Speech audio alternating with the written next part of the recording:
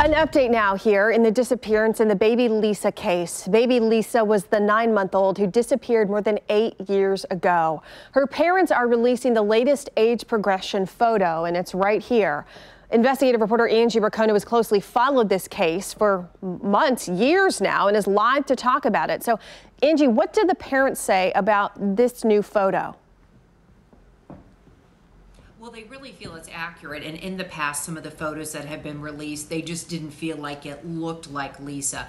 This one, they really feel like it has her eyes and it looks like her. The way they come up with these photos is they take baby Lisa's baby photos, and there's a computer program that is blended with her parents' photos of around that age and her siblings. And so they come up with these photos.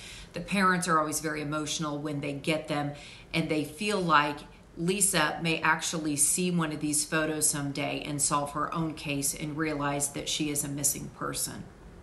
Yeah, you really can see not only Lisa but her parents specifically, as you mentioned in uh, in that photo. What's going on with the case right now?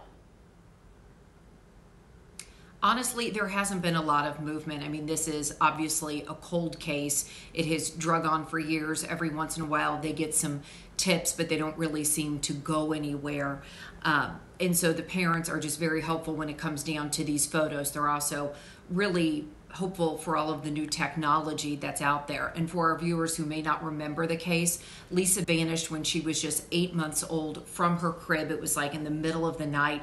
And there's been a lot of theories about the case. And the parents are well aware that they are one of those theories because it is very rare for a baby to be kidnapped. But they truly believe getting this picture out there and talking about her disappearance is worth it. And obviously, you're showing the picture right now. We're sharing it on our digital platforms. And the parents hope that no matter what people may believe about the case, they will take a look at that picture and they will share it. Ellen? Yeah, I mean, the more information that's out there, obviously, the better uh, in this case. All right, Angie, thanks so much for sharing uh, that photo with us and, of course, with our viewers as well.